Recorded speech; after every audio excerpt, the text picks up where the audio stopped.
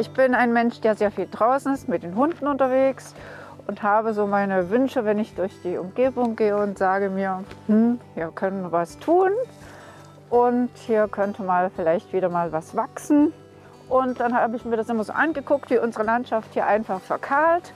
Und das tat mir einfach zu weh. Und dann habe ich gedacht, gut, okay, als Kirche, wir haben einen Haufen Land, also müssen wir was draus machen. Und dann habe ich gesagt, na, das hier wäre eine sehr gute Möglichkeit, um hier einen schönen Naturverbund herzustellen.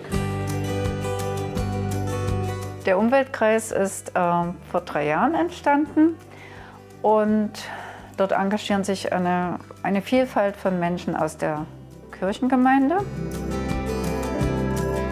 Das Besondere an der Wildhecke ist, dass sie eine dreireihige Wildhecke ist und dass sie wirklich ein großes Ausmaß hat. Also dass wir dort einen halben Hektar bepflanzen konnten, das ist schon außerordentlich. Und das ist mir sehr wichtig, dass da ein kleiner Raum entsteht, wo sich Natur wieder entfalten kann und wieder leben darf. Ich sage mal so ein Hektar Hecke, der entspricht auch einem Hektar Wald in der CO2-Speicherung. Und das ist schon ein ganz schönes Thema. Also auf dieser Fläche stehen jetzt schon 1710 Pflanzen. Und das Tolle ist, dass die alle angewachsen sind. Mein Auge, muss ich sagen, leuchtet, wenn ich das hier sehe.